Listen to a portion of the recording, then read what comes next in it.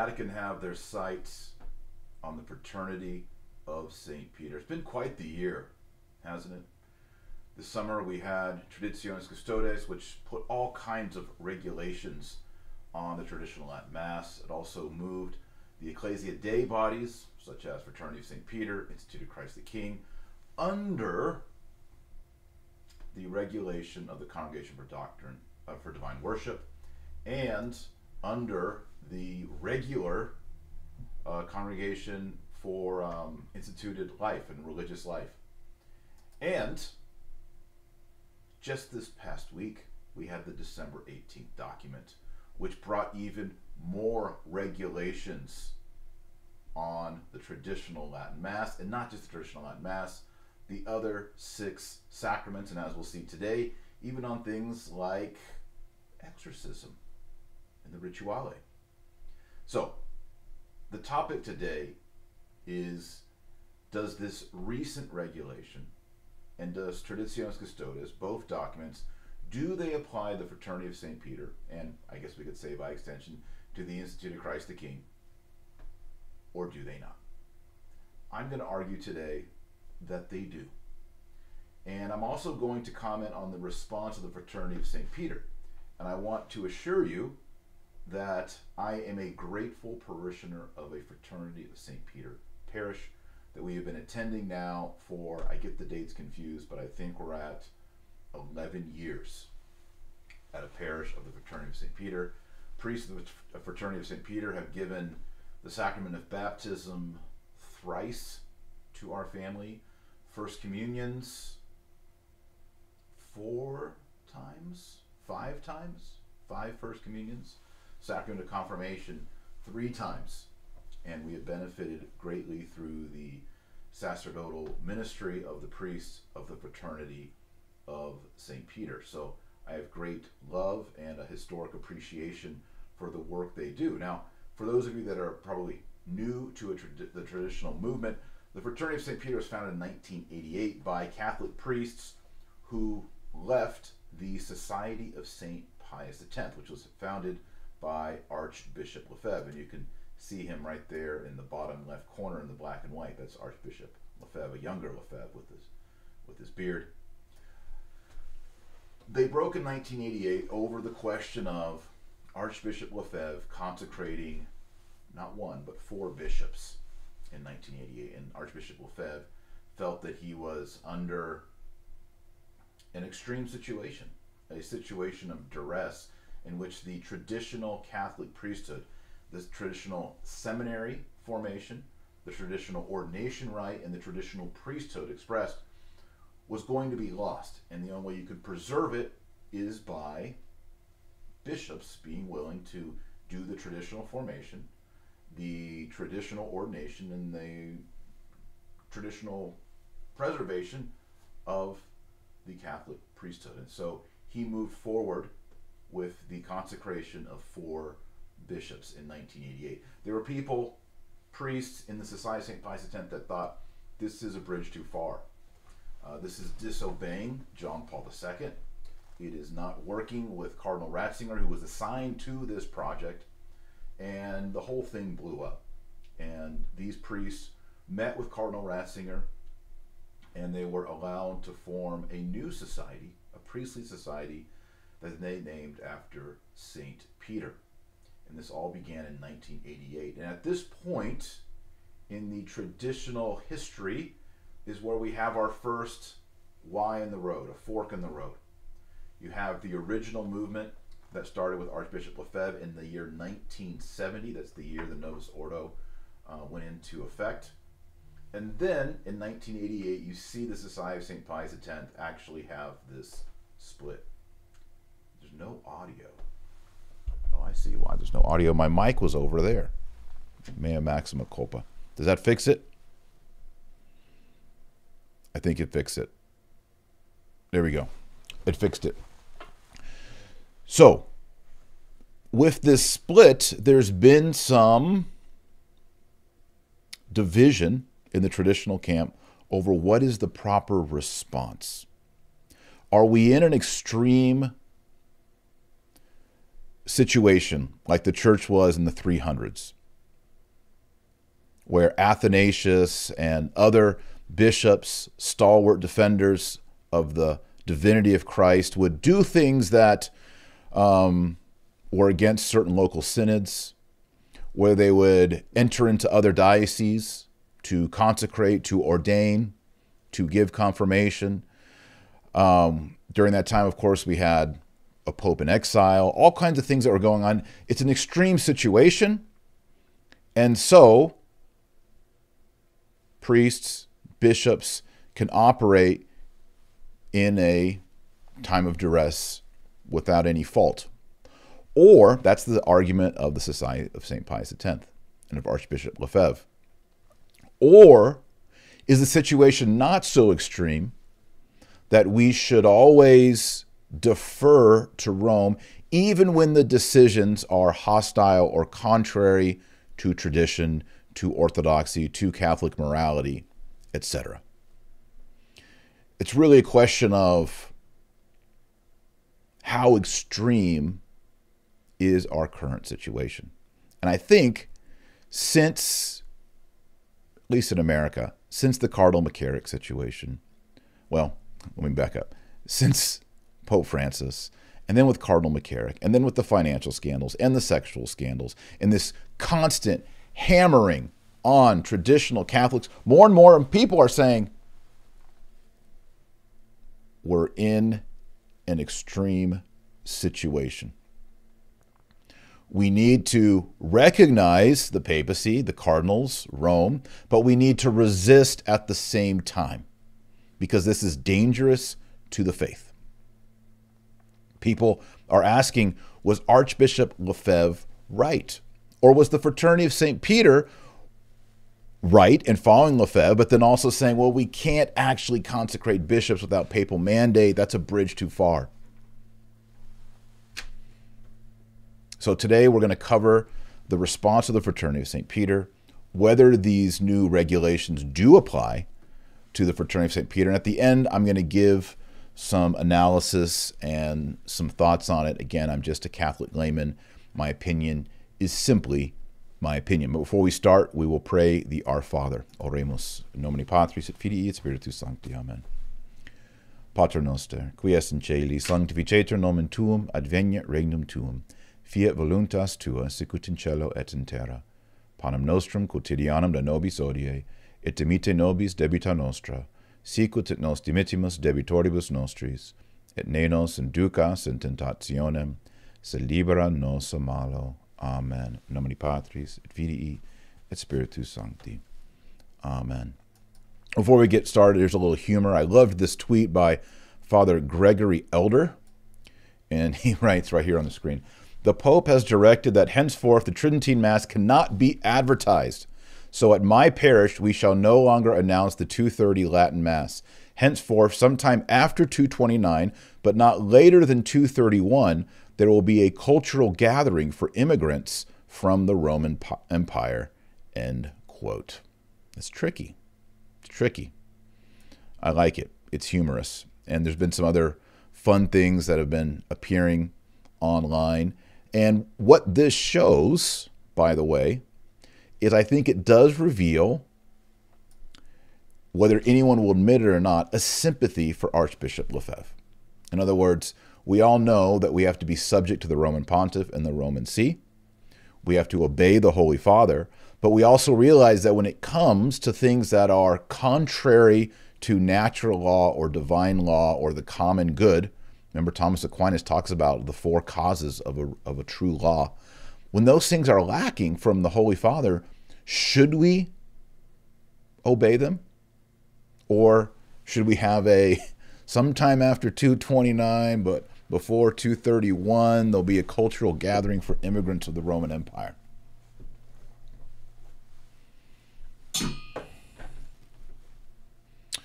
All right, here's the statement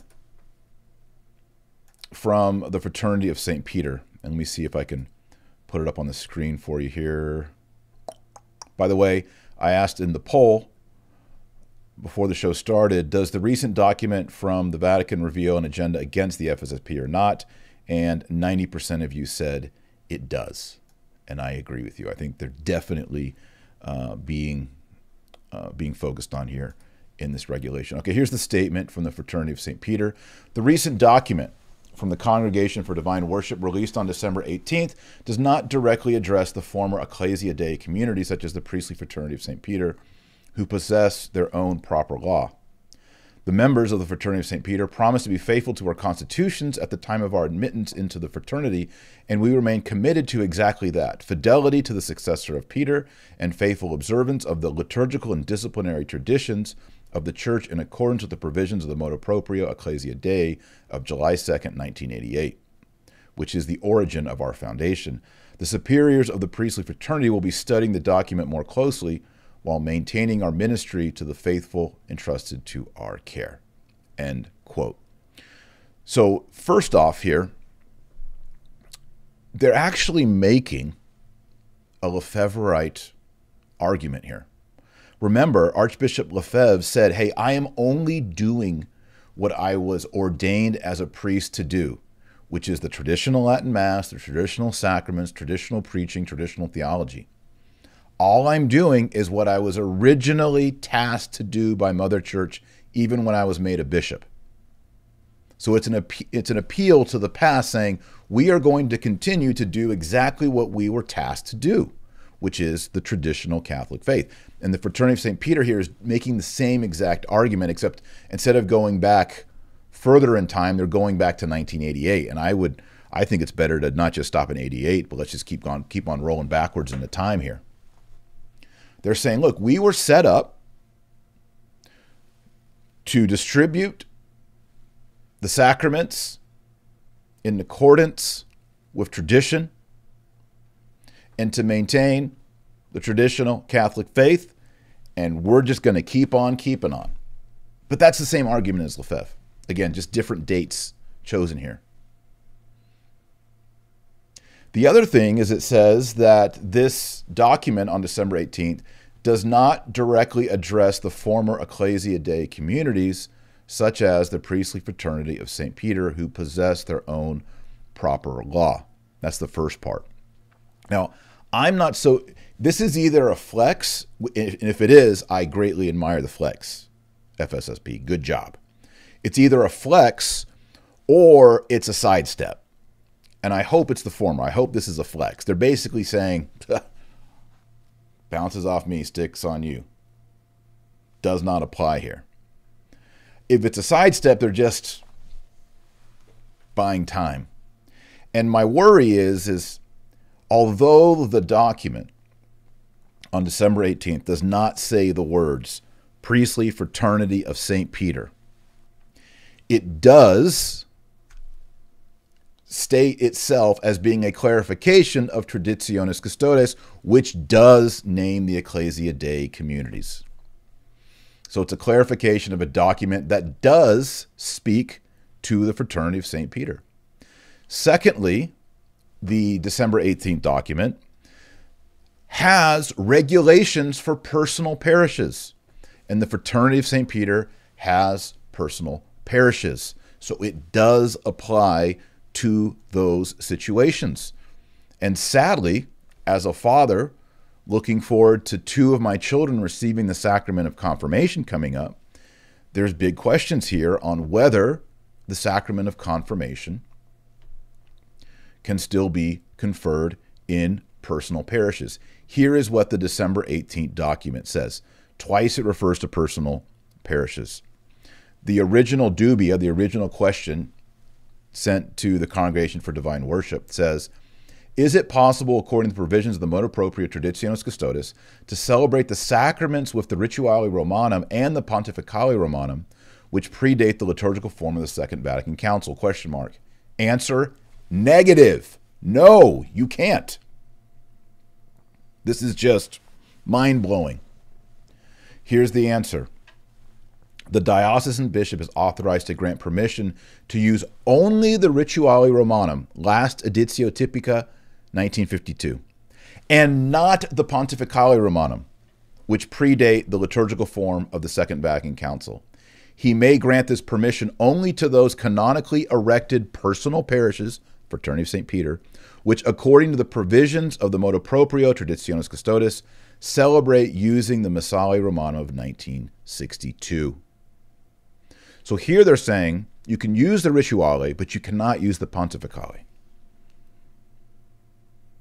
Now, the Rituale has, uh, I'm looking at it right here on the screen. It has uh, the the ritual for baptism, the ritual for confirmation, extreme unction, blessings, exorcisms, etc. The when bishops celebrate sacraments, notably the Mass, they pontificate. They use a different, another book, the Pontificale, which has the special, for example, a pontifical high Mass uh, and these rites like confirmation and ordination. So this raises the question if this latter book is banned, does it mean that it's banned for the former Ecclesia Dei communities?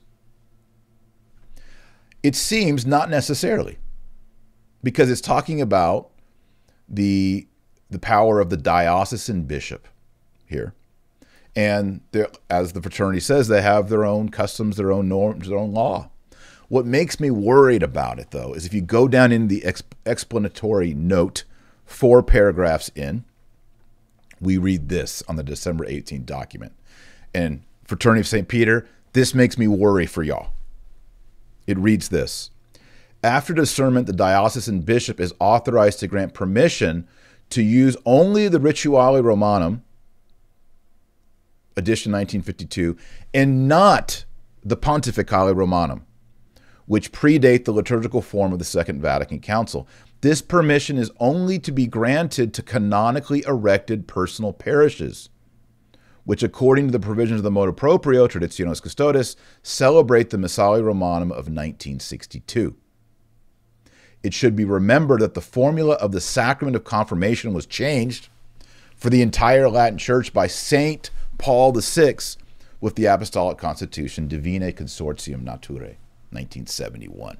Thanks, Paul VI. Here's why I'm worried, Fraternity of St. Peter, because it's mentioning personal parishes, and that applies to you, Fraternity of St. Peter. And also, in the context of personal parishes, it says, Good news, Fraternity of St. Peter, you get to use the rituale. You can continue to use the traditional rite for baptism, extreme unction, confession, blessings, and that's all great. Standing ovation, so relieved. But it still says the pontificale is banned in these cases. And this applies, it's in the context of personal parishes. It's the second sentence after the banning of the pontificale.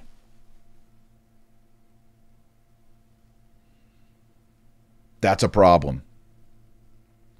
So hopefully the fraternity has a deal or something worked out where they are going to continue to be able to confer holy orders, and that includes the minor orders, by the way porter, exorcist, lector, acolyte, subdeacon, and on to deacon, priest, that they're able to continue to have holy orders in the traditional way and confirmation in the traditional way. And even for cardinals like Cardinal Burke to be able to properly celebrate the traditional Latin Mass and pontificate, to have a pontifical high Mass. Hopefully, all of that has been somehow secured, but we haven't, we lay people down here on the ground, we haven't seen it or heard about it. I'm not saying it's not there, and I sure hope it is. But that scares me. And this does apply to personal parishes. Now, if we go back to Traditionis Custodes from where where'd you go? Here it is. From earlier this year, we have Article 6, which says Institutes of Consecrated Life and Societies of Apostolic Life erected by the Pontifical Commission Ecclesia Dei that's Fraternity of St. Peter, by the way, fall under the competence of the Congregation for Institutes of Consecrated Life and Societies for Apostolic Life. Article 7. Now, this is where the rubber meets the road for the CD, CDW, and the December 18th document. Article 7. The Congregation for Divine Worship and the Dis- Discipline of the Sacraments and the Congregation for Institutes of Consecrated Life and Societies of Apostolic Life, for matters of their particular competence, exercise the authority of the Holy See with respect to the observance of these provisions. End quote. In other words, Article 7 of Traditionis Custodes states that the Congregation for Divine Worship can and does have authority over the fraternity of St. Peter. So, any clarifications regarding the 1962 Missal or the Rituale or the Pontificale, any of these things, the Congregation for Divine Worship does have authority over the fraternity of St. Peter, beginning with Traditionis.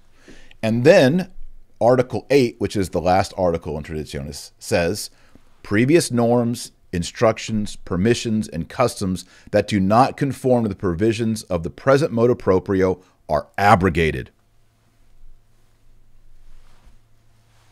That's scary as well.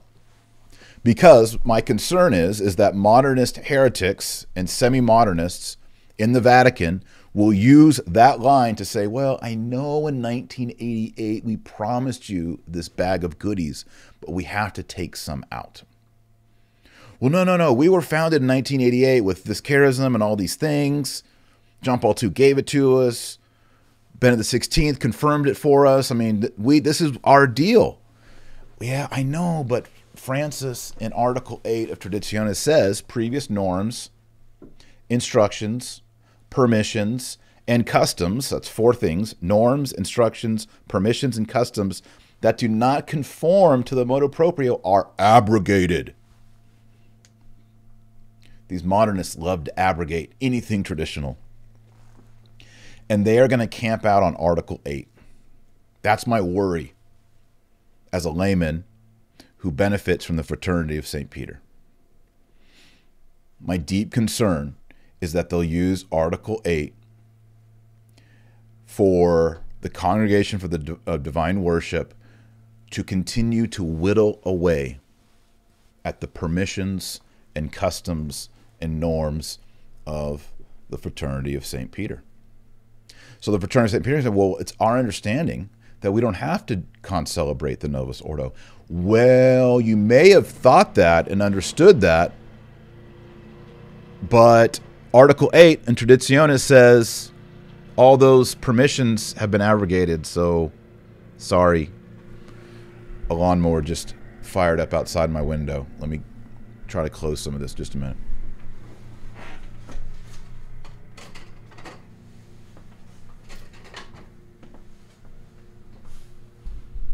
I have no idea why a lawnmower is outside my house on Monday.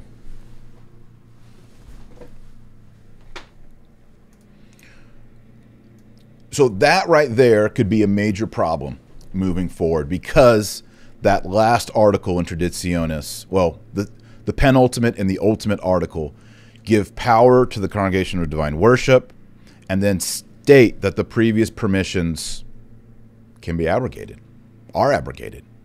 And that puts the fraternity in a tough little place. Now, regarding confirmation, I saw something that was kind of funny, kind of interesting. Let me see if I have it here. Someone found this on Twitter, and I want to give them credit. Yeah, there, here it is. this is from Matthew Hazell. Good job. He said the Congregation of Divine Worship says that the Pontificale Romanum of the Usus Antiquior cannot be used to celebrate the sacrament of confirmation anymore. Well, good job. I found this in an appendix at the back of the 1962 Missale Romanum then, and it is the rite of confirmation. So it's in there, it's tucked in there, you know? And maybe trads are going to have to start being careful and crafty in trying to present and not present to retain their rights. And by rights I mean R I T E S and R I G H T S writes, Now I think it's a leaf blower outside my window. I'm just a dad with a webcam. I don't have a fancy studio. I apologize. Another problem with taking away the rituale is that diocesan priests can no longer, as I understand it, do baptism in the traditional rite. Uh, they can't give confession in the traditional rite, and they can't do exorcism in the traditional rite. And I fear that the diocesan Latin Mass movement is going to decline.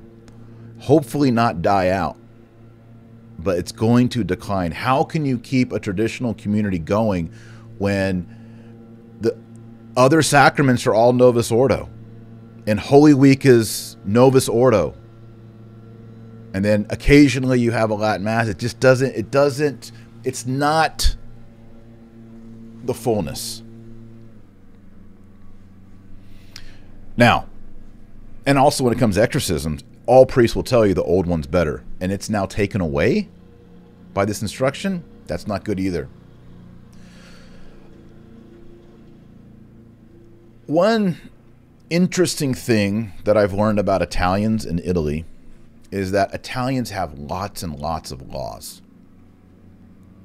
It's kind of part of the, the Roman heritage. They have so many laws that they can't really enforce the laws. And so there's a lot of laxity with regard to the law. And I kind of wonder if that's going to happen with regard to this situation. They're making so many laws against the traditional Latin Mass. How are they actually going to enforce this? I mean, if a bishop in the Midwest, United States of America, uh, allows his diocesan priest to continue to have all the sacraments traditional if they want, what is Rome really going to do? And if a priest does a baptism in the old Roman rite using the rituale, is his bishop going to suspend him for that? Like, honestly, are we going to suspend hundreds and thousands of priests? Is that leaf blower loud? It's loud for me. I might have to hang up this podcast. I can't even hear myself think. You know what I think happened? I think Mrs. Marshall Joy has had some leaf guys come and doesn't know that I'm recording a video. I think that's what happened. oh well. Now, the other conclusion or the other outcome of all this is the Society of St. Pius X what are you going to do if you live in a certain town or city and your diocesan Latin Mass gets shut down? It's gone. And there is no Fraternity of St. Peter, and there is the Society of St. Pius X. People are going to go to it. And this goes back to the corral theory. The corral theory is the modernists are going to continue to push on the traditionalists and push them and push them and push them and push them out away and into a corral. And when we're all in there, they're going to close the gate and they're going to say, Y'all are in schism. Y'all are schismatic. We tried to be nice to you. We tried to throw you traditional uh, pieces of candy. We held carrots out in front of you and you just didn't cooperate. So it's your fault. You guys are out. You're in schism. And we're just going to treat you like uh, Eastern Orthodox from now on. We'll invite you to some ecumenical gatherings. I really think that is their end game. That is their end game. Hopefully, my belief is is somehow that's all going to backfire. And our Lord Jesus Christ is going to do something miraculous to restore the Roman rite. That's my hope and my prayer. Who knows? Another thing that's going to happen, and, and this depends on what happens with Institute of Christ the King and the Fraternity of St. Peter, is what are young men going to do who want to be priests? Are they going to spend the next seven years, eight years, nine years discerning and going through seminary with the fraternity of St. Peter to suddenly not be able to be traditional priests? Are we going to see all these young men going to the Society of St. Pius X? Are we going to see something else, a third thing happen? I hope not. I don't think we need more new. Let's stop retrying to reinvent this stuff and let's get united. I don't know. Well, the leaf blowers are so loud, I'm going to hang it up. I don't have that much more to say anyway. I think I will say at the end here, though, we have to be united. And none of us have all the full answers. There's people that go from sedevacantists to all kinds of things. I don't think anyone fully knows how we got into a situation in which all seven sacraments were changed. Um, morality and doctrine were made lax and loose and confusing. And we have such declines in demographics in the Catholic Church. And how do we get out of it? That's why I said yesterday you got to pray your rosary every single day. Because Our Lady asked us to do it 100 years ago. And it is the answer some way. That's our job as the laity, as we pray the rosary. We do penance, penance, penance.